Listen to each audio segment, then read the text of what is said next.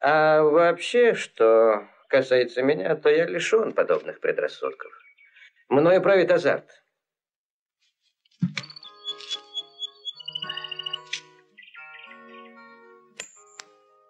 Либо да,